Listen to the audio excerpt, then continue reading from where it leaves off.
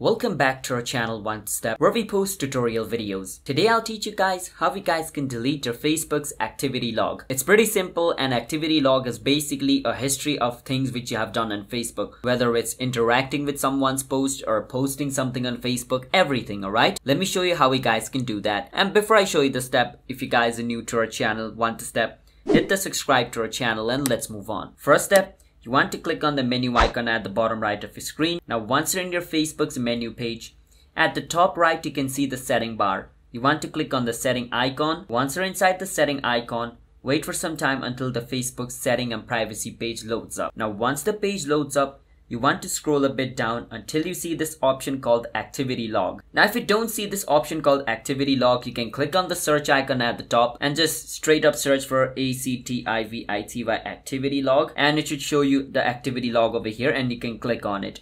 Whatever you do, it's both going to take you to the same location. Once you're over here, you want to choose which activity log you want to delete. If it is post, you want to go on post. If it is on tagged, you want to go on tagged. If it's on interaction, you want to go on this.